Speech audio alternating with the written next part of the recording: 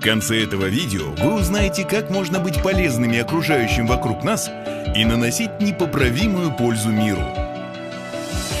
В честь 9 мая, Дня Победы, питомник «Экоплант» проводит ежегодную благотворительную акцию «Аллеи славы». В девяти городах-победителях будет высажено 9 тысяч бесплатных деревьев в школах, институтах, больницах, дворах домов, черте города. В 2017 году успешно одержали победу Москва, Санкт-Петербург, Казань, Иваново, Грозный, Уфа, Тула, Красногорск, Ржев. Но в этом году в акции могут принимать участие и страны-участники Таможенного союза – Казахстан, Белоруссия, Армения, Киргизия. В 2018 году мы также предоставим 9 тысяч бесплатных деревьев. Но нам нужна будет ваша помощь в их посадке. Мы хотим, чтобы каждый из вас посадил по дереву в память бабушек, дедушек, детей, жен и мужей, погибших на войне.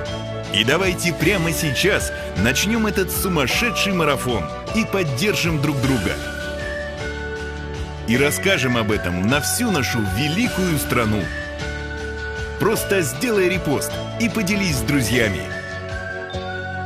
Давай, вперед, жми, жми, жми же!